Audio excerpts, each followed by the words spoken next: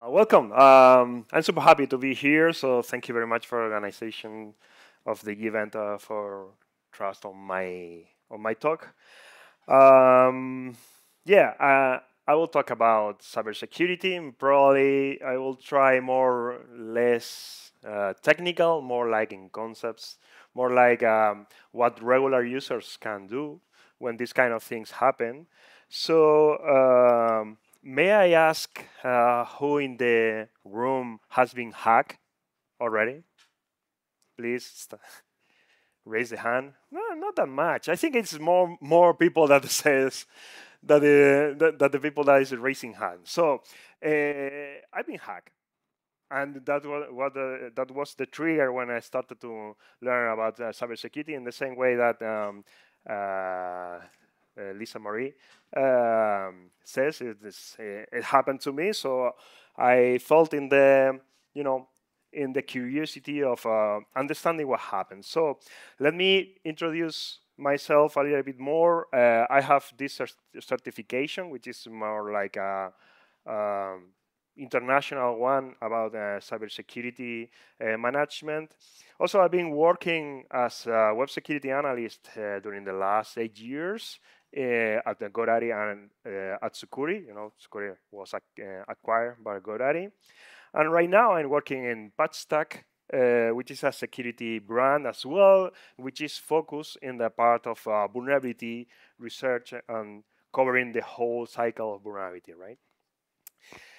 At this moment, I, I will invite you to, to do some yoga with me, something like, wow, breathe in, breathe out, because I'm going to show you what happened when you um, when you are hacked. At the end, I have been uh, through the last eight years. I have been solving hacking cases, so I've seen a lot of things. So it could happen also.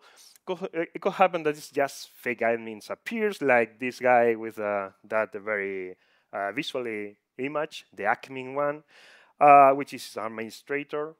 Or it could happen that, for example, your post uh, changes. Like, for example, this two, which is funny because this website was a normal website, and you can see that if you get uh, in the revision, in the revision um, uh, part, if you get uh, back, you can see that it was hacked, and then after that it was hacked again by other by other guy, right? You can find that your homepage looks a little bit different you can find that you get into the drug market suddenly and people start asking you. So this is a design uh, uh, design company and free shipping by IRA still. or you can find that, for example, your plugins, there are some plugin, strange plugins that um, suddenly appears. Like, for example, the login was something. You can uh, spot easily those because of the strange name. But also there is one Joom.js so Joomla here doesn't do anything. Um, as you can see, it uses the Akismet uh, plugin to mimic and to try to pass uh, unnoticed.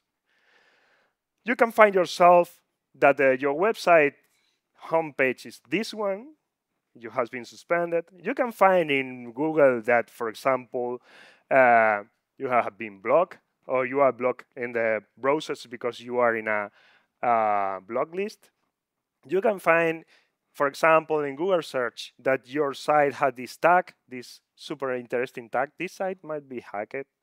Maybe you have ads campaign and then they are disapproved constantly.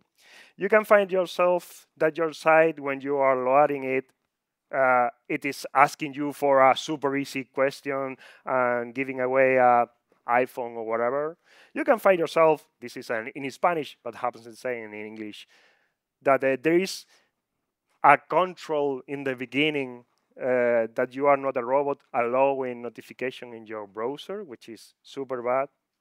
Never. Uh, always click on block. You can find yourself that you suffer a ransomware attack and you have to pay to recover your information. This is in Spanish, but what they're saying is basically that you are incoming uh, 50,000 euros or 100,000 euros per year. But if you get a hack, you have to pay a fine that is triple, something like uh, 300,000. So the fine also is interesting. When you get hack, it's not also the importance of the hack and their uh, reputation uh, problem. It's also that you can get fined by um, authorities, like for example GDPRs and so on. And at the end, you know, uh, starting to to um, to learn about this kind of uh, you know words, hacker and so on, and you might happen to find yourself that the police break into your into your home, and this is true. Happened to a friend of me, and it was just because his computer got hacked and was used as a platform for attacking other sites. So, yeah, at this point is when you are like a little bit stressed and you are a little bit afraid of this, and that's in the moment when you need to say, hey, breathe in, breathe out, because this is the point when you realize that your site has been hacked, when all of this comes to your mind, especially the uh, uh, the things like fines, like reputation damage, and so on, right? So I know uh, after that is it's okay for screaming, it's okay for feeling down. So after that moment, let's act, and uh, through the acts, you can feel uh, that you are doing something towards your uh, recovery, right? Unfortunately, since um, cybersecurity is a little bit a tough subject, I need some concepts to, to mention. I will omit those that uh, um, my previous uh, mate has mentioned in the um, in her lightning talk, which is very nice. Um, but I will try to be a little bit more abstract, right? So what is security uh, information security, right? As you can see here, this is the ABC of the information security. You can see information in the middle, and you can see that has like three uh, edge of the triangle, right? You have the confidentiality, integrity, and availability. This is what we talk in cybersecurity, the CI triad. Those are the things we work.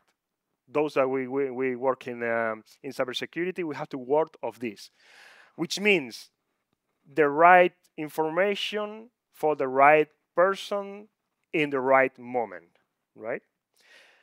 On, per contrary, you have the DAD triad, which is the uh, what happens in the opposite, right? For the confidentiality, you have the disclosure. For the integrity, you have the alteration.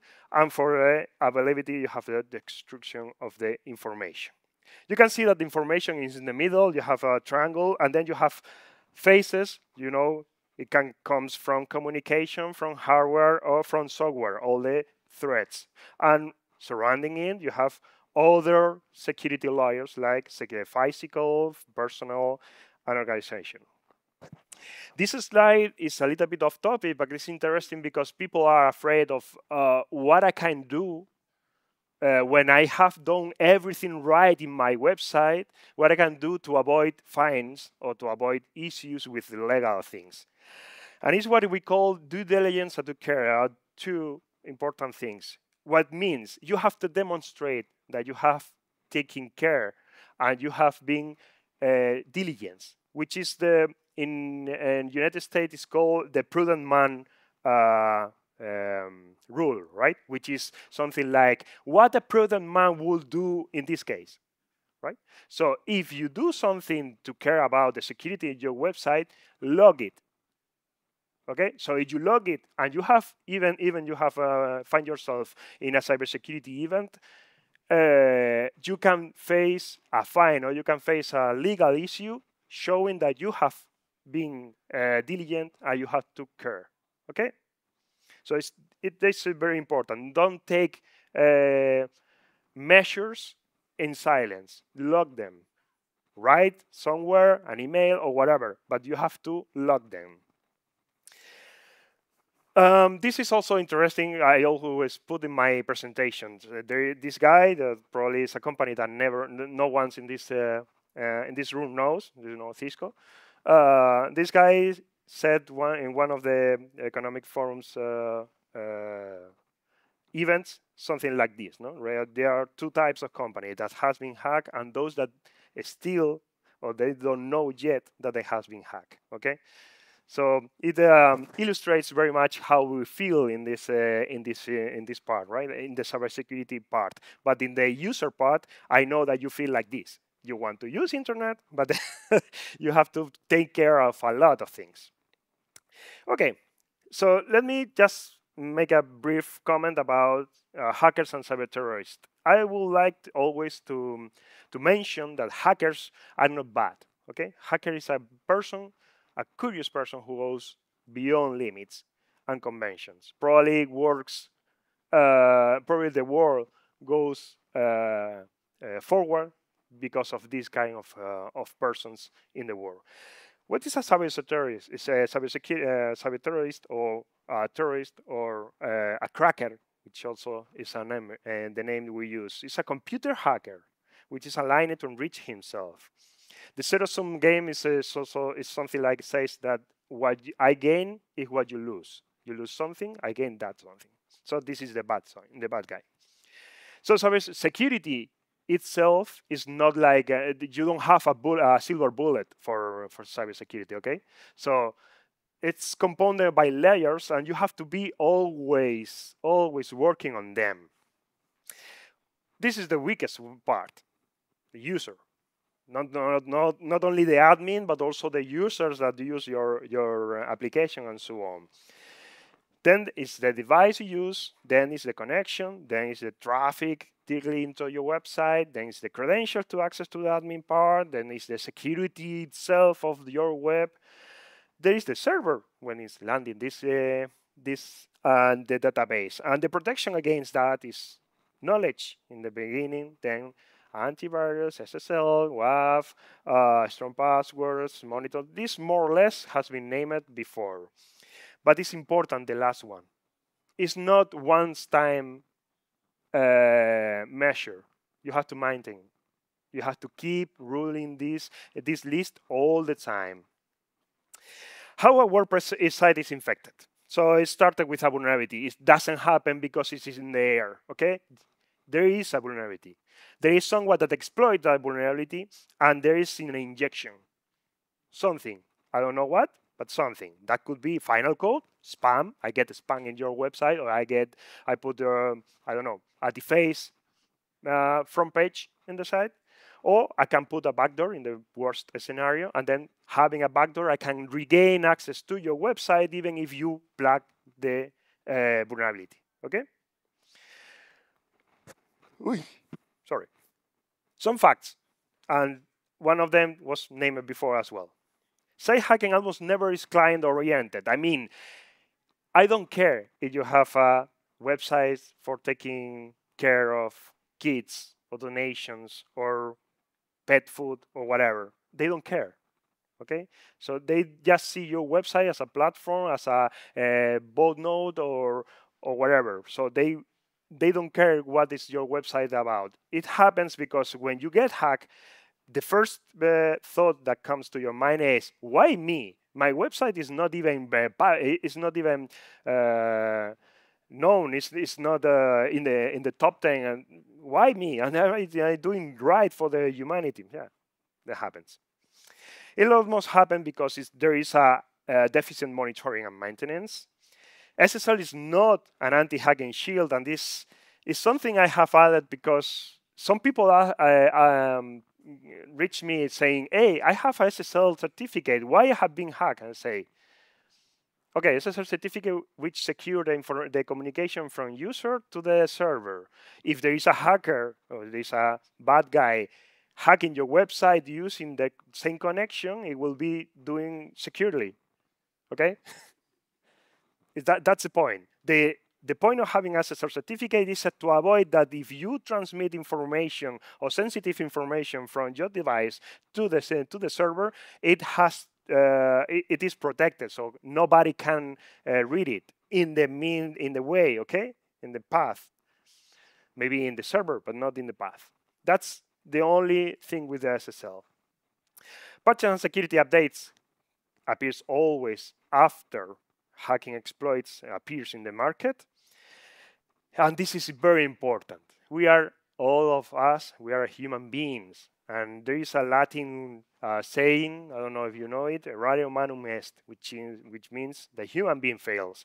And nobody, no, no, no, it doesn't matter if you trust in the best uh, security company. There is conformed by humans, and this happens. And this is the only the other fact that is very important for all of you. Security never and nor will be is 100% effective. Okay, so coming back to the topic, there is some agents involved when something bad happens. Uh, you, as an owner, admin, developer, designer, uh, and you have to take care about the GDPRs and something like that. And there is a other layer, which is the hosting provider, which has agents, support, backups, and so on. And then you have the security experts or the external teams. Normally, it's external. Some hosting has an internal team for that. So, um, this is for your uh, mental health as well. So, when you are a user, this is your accountability. So, something that happens in your device is yours responsibility. Something that happens from your device until your until the website you are visiting is businesses and accountability. And the website security is site owner accountability, which means each of those uh, agents has a responsibility if there is a hack. And you have to be or due diligence and be care uh, care about this and demonstrate that you are not the the, the problem here. So you have a site, you have this separation. What happens below the terrain uh, layer is uh, hosting provider accountability or liability if we are talking about legal things. And what happens upper is yours as a builders. Uh, keep in mind the OWASP, uh, the OWASP um, website is interesting to you uh, to check. I don't know how, how many technical guys are here. I mean, how many people that doesn't know anything about security are here in the in the room. All of you knows about the security, so all of you knows the OWASP project, right? Well, I recommend to you not only to check uh, regularly this uh, this uh, website, but also to recommend to the people, um, uh, to users, to check this because there are some tutorials and so on to understand how security works. Okay, normal targets in WordPress uh, in a WordPress site. Users, user database, the database itself, the content, the infrastructure, which uh, we have uh, talked before. We can use a website as a platform to attack others. Payment system, if you are a WooCommerce or you are a commerce uh, website, uh, is very classic attack to change. If you are, for example, using PayPal, uh, to change the PayPal uh, account to pay to in their website. So you can find yourself that the uh, your customers are paying, but they're not paying to your account. And something that is very also is a, um, very interesting is the reputation. We will talk about this later. So in cybersecurity, we always we have like eight kinds of uh, measures, but the, these two are the most important. There are two measures, two, two way of uh, acting uh, towards security. One is reactive, when something bad happened, already happened. So you are working towards pain mitigation, is what we call incident response. And there is a proactive uh, set of actions that is when something still haven't happened. So it's a risk mitigation. It's not uh, securing your website is minimizing the risk of being hacked. Minimizing, which is not zero, okay? Okay, so let's go into the main part of the topic. Incident response. What happens when you get a hack? So incident response is the effort quickly to identify, minimize, and contain the damage and remediate uh, the cause for future incidents. So this is the list of the things you should do as a technical person, as a user, not as a security analyst. Okay, as a security analyst are more tough. First, scan the site. The, let's realize what happened, right? I will get into the, the those uh, matters uh, right now. Then update. I recommend updating, and I recommend updating for a secret thing that WordPress have, and is very interesting. I will mention before uh, after. So the CRC, the check and remove and change, is just check around and take actions. Okay. And as a final action, restore a backup. I will take. I will uh, also mention about backups uh, following this. So the first, scan your site. Let's figure out what happened. I recommend, the, you know, uh, websites has this uh, separation. You have the client side and you have the server side. I recommend to always separate because the scanners, the malware scanners, the whatever scanners you put into are separated in those in those types, the client's one and the server's one. Okay, so for the client side, I recommend the sitecheck.sucuri.net.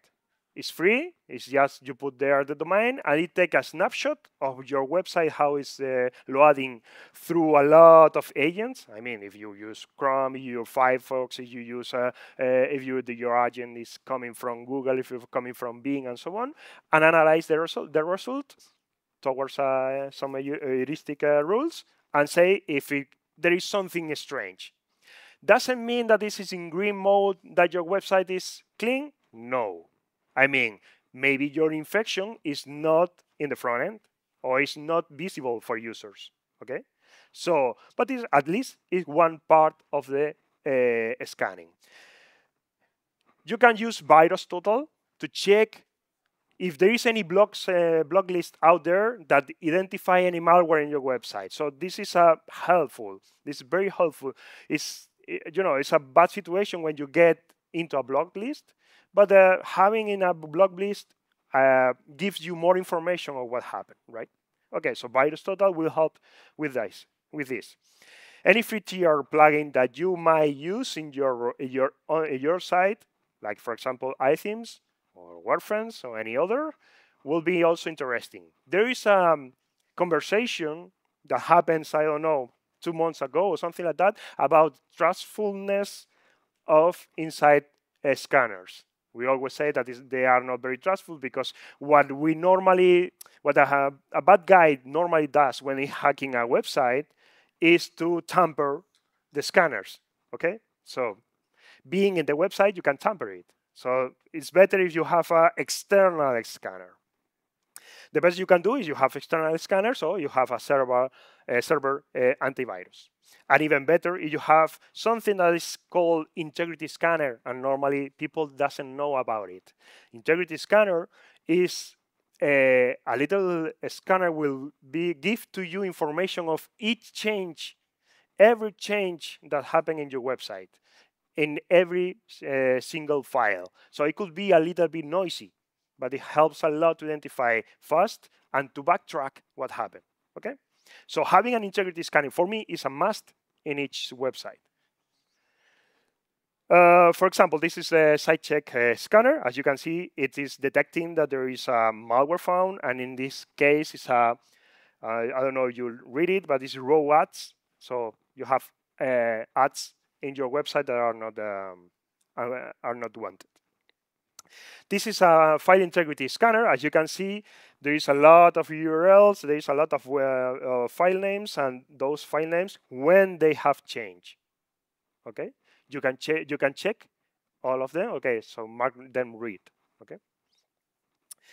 Also, if you have a website, uh, a WordPress website, or you are administrating a website, please check the plugins folder and the themes folders right now. If you have any of these, you have been hacked.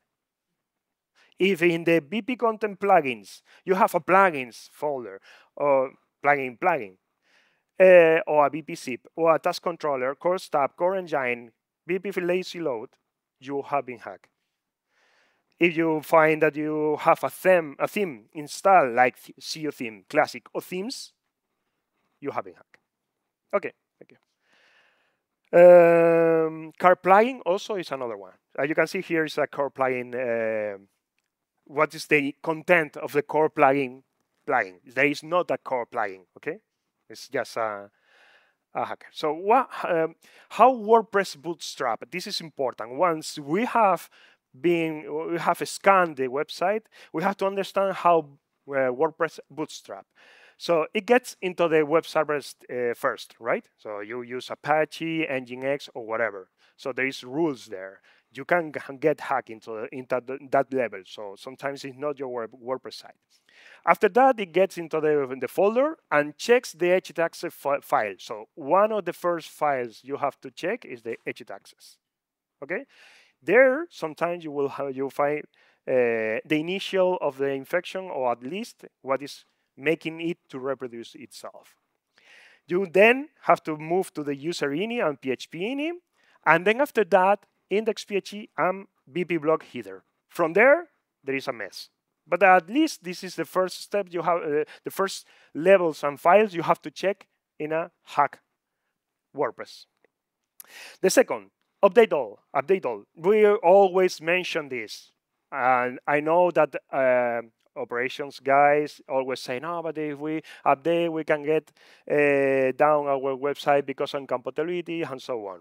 Yes, but that's less damage than if you get hacked. Okay? It's interesting because of the last part.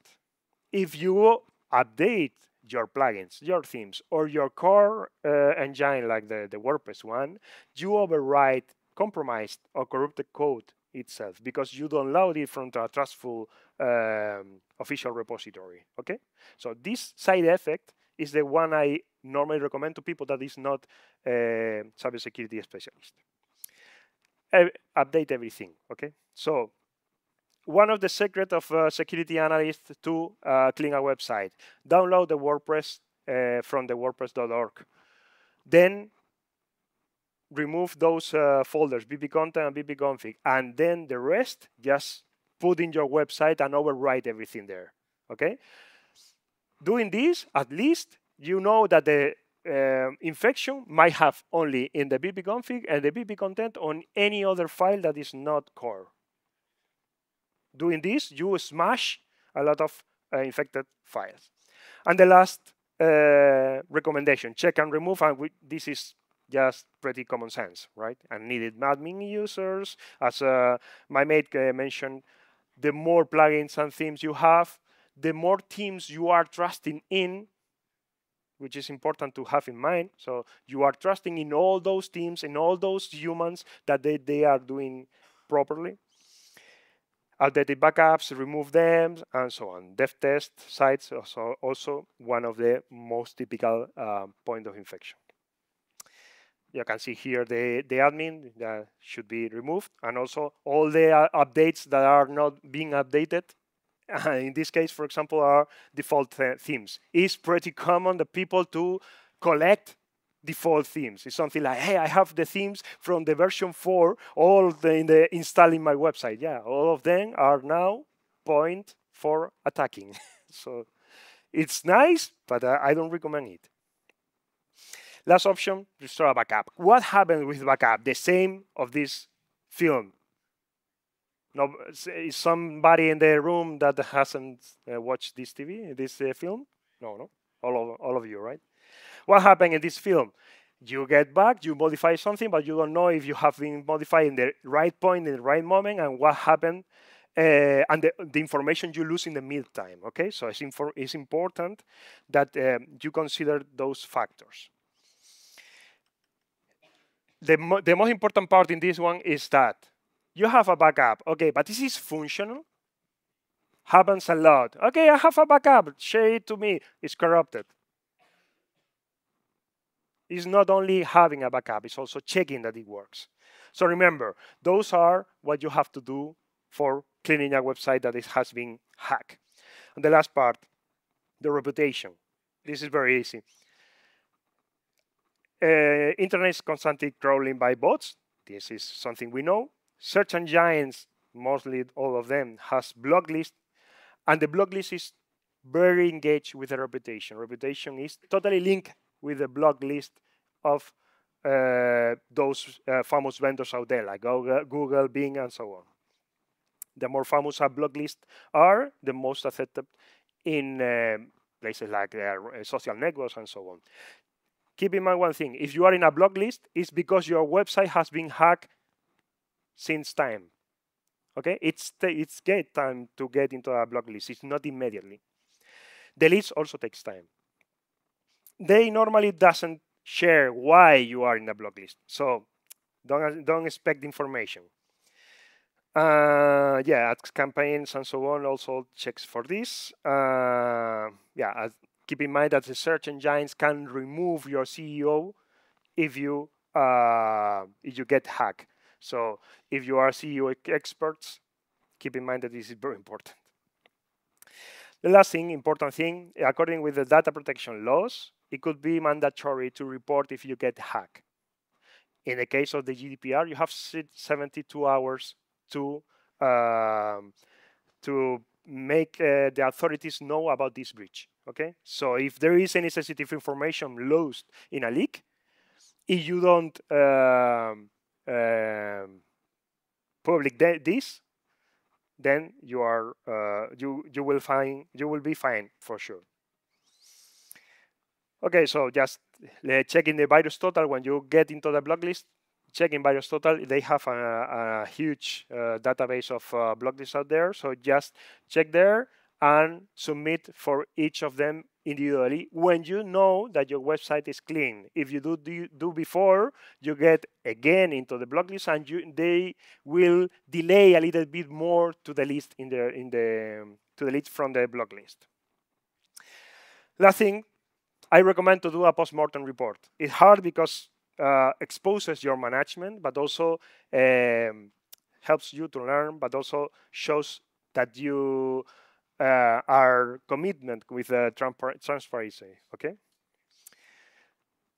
Proactive measure, more or less, is what uh, my mate has mentioned before. My uh, my best uh, my tool most important that has to be in a in a website is the integrity scanner and the WAF but it's, it's nothing that they use should survive with them, but those are the most effective, and that's all. You can read in the, in the slides. So remember to invest in hosting and in security from the beginning.